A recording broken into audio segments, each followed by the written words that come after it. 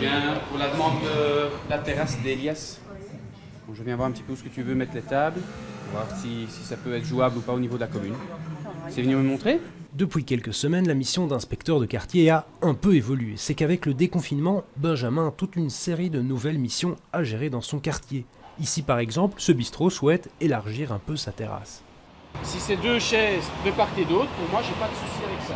Du moment qu'il y a un passage et une distance. Tant qu'il y a un passage, il as au moins un bon mètre cinquante de- d'écart. Donc pour, pour moi, j'ai pas de souci. Avis favorable pour cette terrasse, la décision reviendra ensuite à la commune. Il y a un peu un manque d'espace avec la distanciation, etc. C'est pour avoir, pouvoir accueillir plus de personnes. Il y a évidemment les terrasses, mais il faut aussi que toutes les recommandations fédérales soient respectées, et puis il y a aussi les règles communales. Ici à Uccle, par exemple, les dispositifs publicitaires étaient jusqu'à peu interdits sur l'espace public. Bonjour. Tu m'as demandé il y a quelque temps pour les drapeaux. Oui, tout L'arrêté du, du Oui. bourgmestre qui disait que tu ne pouvais plus les mettre euh, au niveau de la rue. Tout à fait. À partir de maintenant, tu peux les remettre.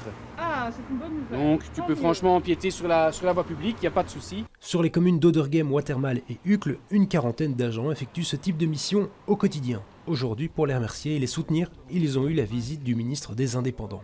Sans la police, le déconfinement n'est pas possible.